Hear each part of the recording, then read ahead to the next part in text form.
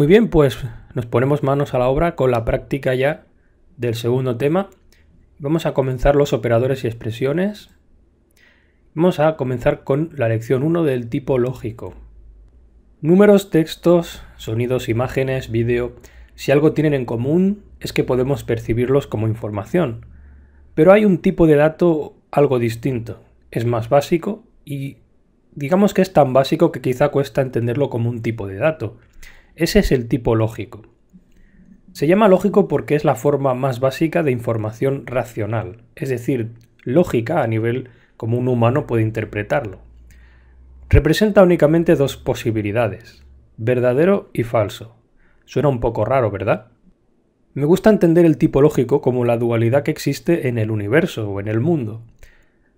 Verdadero y falso también puede ser sí o no. Puede ser luz, oscuridad. Y este tipo es tan básico y primitivo que incluso una máquina puede entenderlo. De hecho, una máquina está en marcha cuando pasa la luz y una máquina deja de funcionar cuando no pasa la luz. Me enciendo, me apago, me enciendo, me apago. En el contexto de la lengua, cuando hablamos entre nosotros, con otras personas, el tipo lógico, booleano binario, como queráis llamarlo, representa la validez o falsedad de una sentencia, de una frase, por ejemplo. Yo puedo decir estoy vivo y utilizando mi razonamiento llegar a la conclusión de que en efecto estoy vivo, estoy aquí, estoy hablando y por tanto tengo que estar vivo. Esto es una frase o una sentencia verdadera. O también puedo decir, por ejemplo, en un día lluvioso podría decir el sol brilla más que nunca y en cambio estaría todo nublado, así que saltaría a la vista que eso es una mentira, que es falso. También puedo decir, yéndome al terreno más matemático, puedo afirmar que 1 más 1 son 3, que aunque suena convincente, todos sabemos que eso es mentira, ¿no? Por tanto, si algo es obvio, es que la negación de una cosa que es verdad se convierte en mentira y la negación de algo que es mentira es algo que es cierto. No verdadero es igual a falso. Y no falso es igual a verdadero. Por tanto, son complementarias. ¿Cómo se aplicaría todo esto en el mundo de la programación?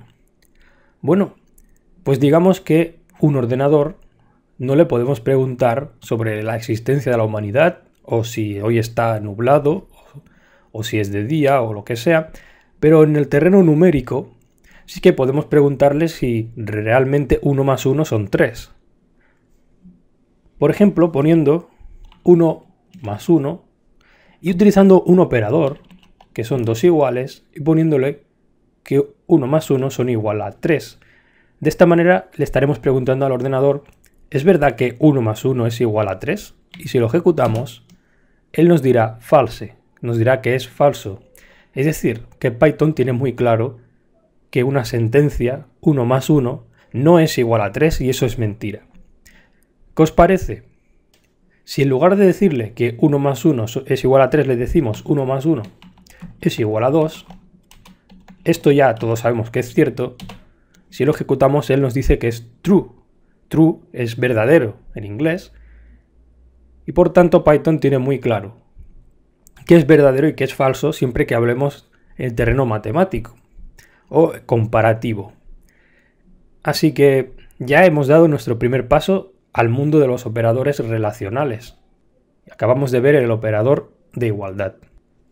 Vamos a dejarlo aquí porque en la próxima lección vamos a introducirnos de lleno en todos estos operadores relacionales.